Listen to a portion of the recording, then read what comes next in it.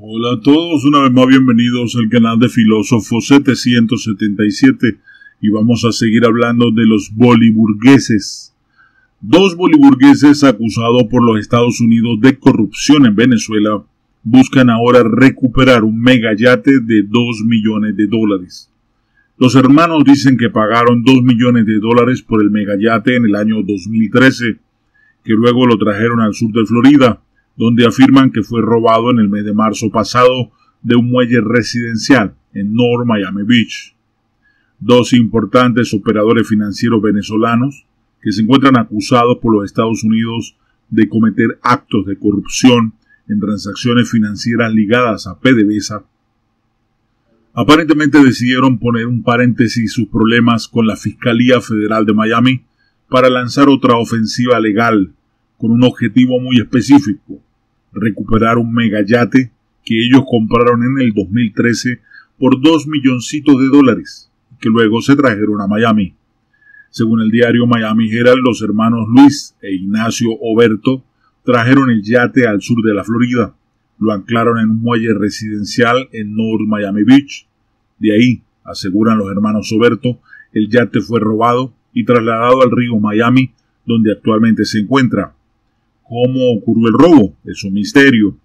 Un brillante yate azul y blanco de 98 pies se ve un poco afuera del lugar, junto a los modestos barcos atracados frente a un edificio de apartamentos en mal estado en el río Miami cerca del puente de la, de la avenue.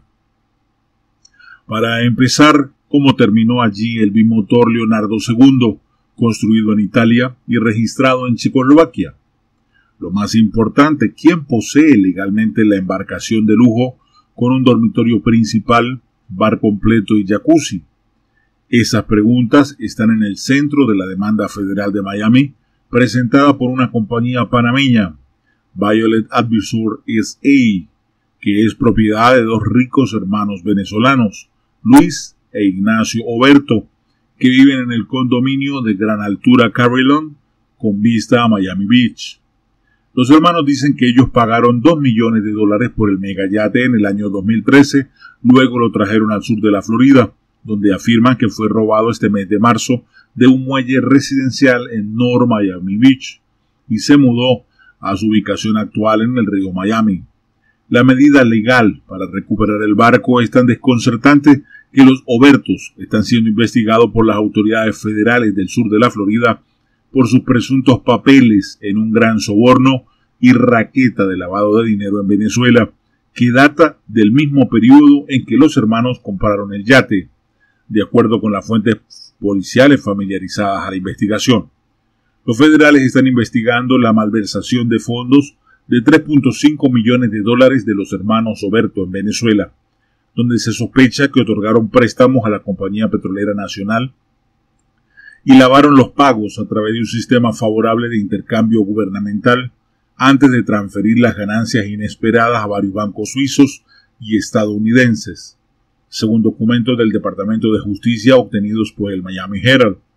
Varias de las cuentas bancarias suizas de los hermanos están a nombre de Violet Advisors, la misma compañía que afirma ser la dueña del yate que se encuentra en el río Miami.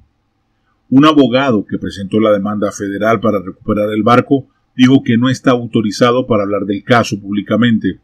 Sin comentarios, fue la expresión del abogado de West Palm Beach, Christopher Mills, al Herald la semana pasada.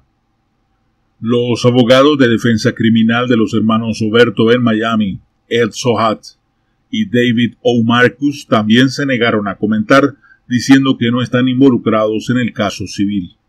La oficina del fiscal de los Estados Unidos tampoco quiso hablar, aunque los fiscales y agentes federales con investigaciones de seguridad nacional podrían estar interesados en apoderarse del yate de los hermanos si se presenta una acusación en su contra para finales de este año. ¿Cómo les parece? ¿El ladrón será que se cumple el refrán? ¿Ladrón que, lo que roba ladrón tendrá cien años de perdón?